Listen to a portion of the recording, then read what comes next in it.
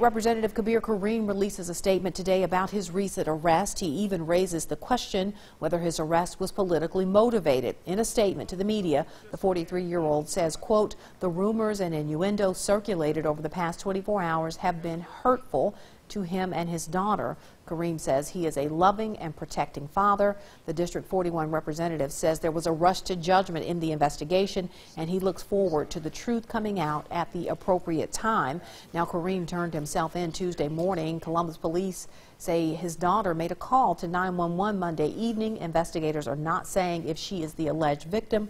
The incident reportedly happened near the intersection of 14th Avenue North and Military Road. A Columbus Police Department spokesman says the misdemeanor charge was filed by the investigating officer and was based on state law.